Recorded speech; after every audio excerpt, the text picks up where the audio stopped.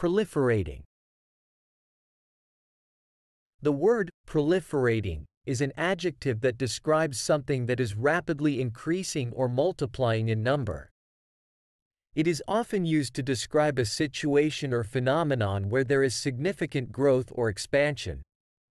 Here are a few examples to help illustrate the meaning of proliferating. 1. The use of smartphones is proliferating worldwide. In just a few years, the number of people using smartphones has increased exponentially. 2. Invasive species are proliferating in the local ecosystem, causing harm to native plants and animals. The rapid spread of these species threatens the balance of the ecosystem. 3.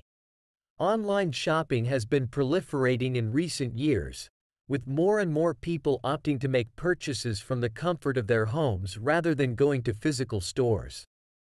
4. The proliferation of social media platforms has changed the way people communicate and share information. There are now numerous platforms available, each with its own unique features and user base. 5. The proliferation of fake news on the internet has become a major concern.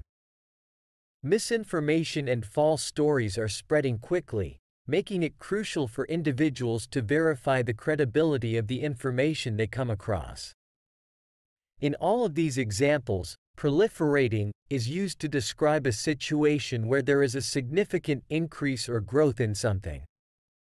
It conveys the idea of rapid multiplication or expansion.